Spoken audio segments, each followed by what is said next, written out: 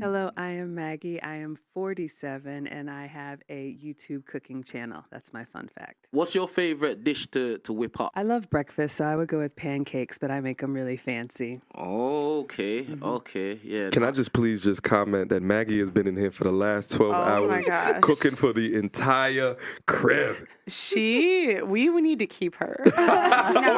No, we're keeping her in the U.S. Like, we can't have her. Yeah, I can't have her out She's here. already. We love her too much. No, She's it's already over. here. It's I'm okay. sorry. Nah, that's awesome.